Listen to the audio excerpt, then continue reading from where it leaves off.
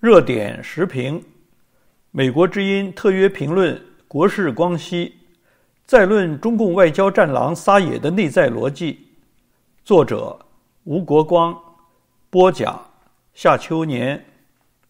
本文选自美国之音中文网，作者吴国光是斯坦福大学中国经济与制度研究中心高级研究员，也是美国之音特约评论员。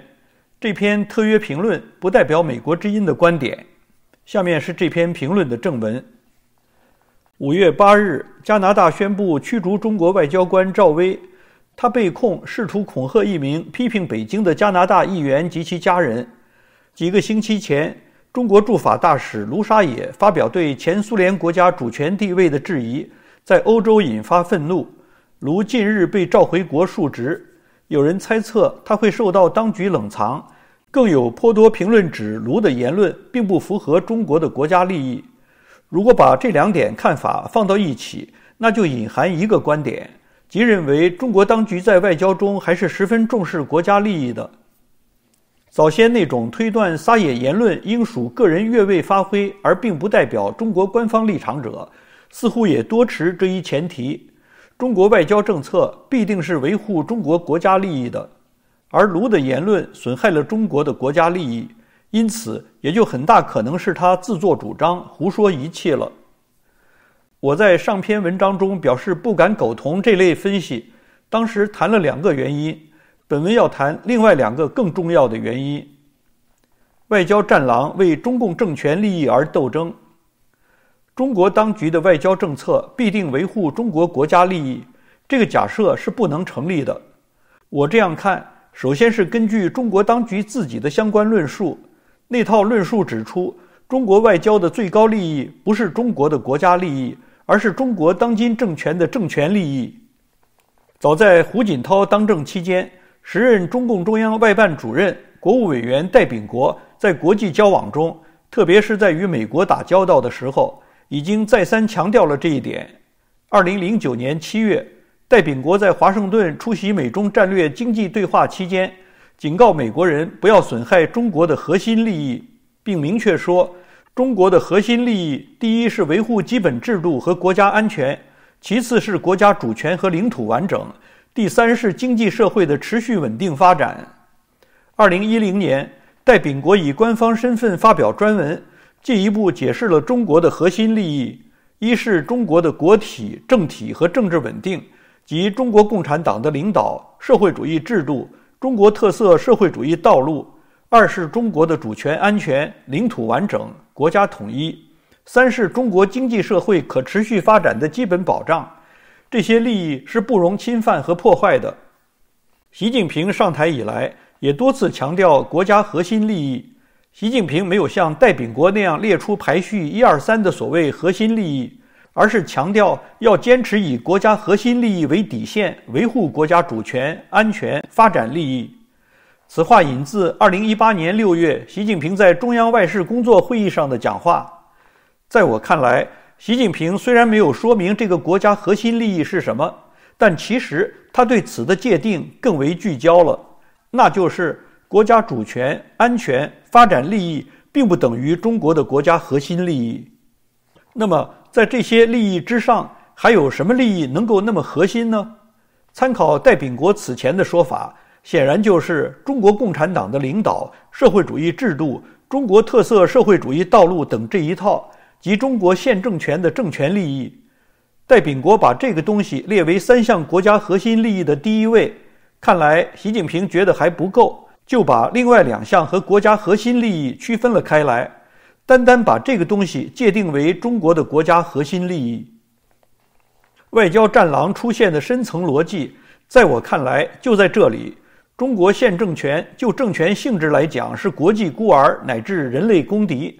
外交官要维护它，就不能不敢于斗争，不能不一副狼态，一群狼嚎。我上次说外交战狼是制度现象，就是这个意思。既然战狼们是在维护中国现政权的政权利益，那当然会得到现政权的大大奖赏。卢沙野一路升官，外界所诟病的战狼们在中国外交界志得意满，其源盖出于此。如果按照外交维护国家利益的逻辑来分析，那就未免浇筑古色了。专制政权在国际社会的两面手法，这并不是说专制国家的外交就完全不考虑国家利益。如果明显的国家利益高度受损，掌控国家的专制政权也会面临挑战。问题在于：第一，如何处理国家利益与政权利益之间可能的冲突？习近平那句话说得很明白：坚持以国家核心利益为底线，维护国家主权、安全、发展利益。这就是说，如果为了维护国家主权、安全、发展利益而触及中共政权利益的底线，那就只能牺牲前者，维护后者。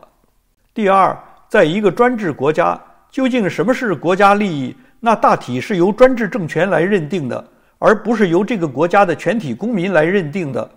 这里，专制政权会搞很多手法，在国家利益的界定上迷惑、欺骗、操弄民众的认知，把政权利益等同于国家利益，界定为国家核心利益，就是其中一种手法。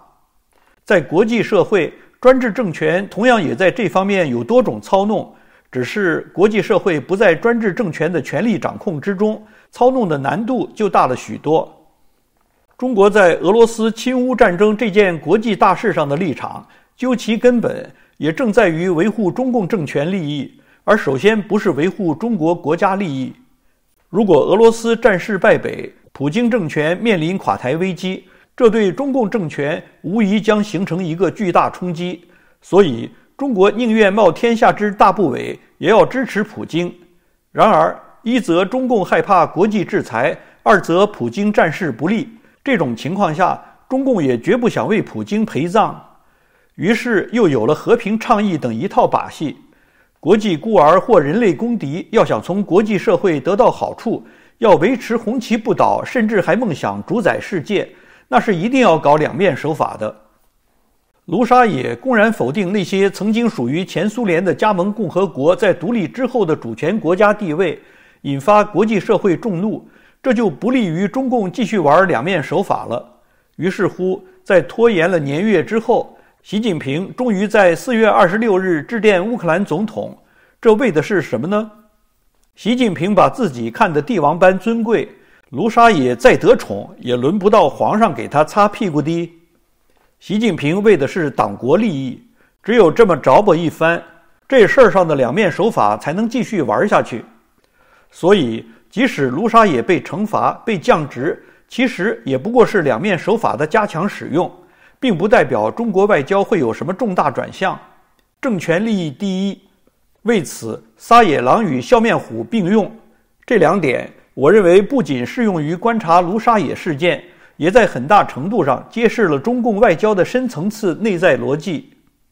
全文完。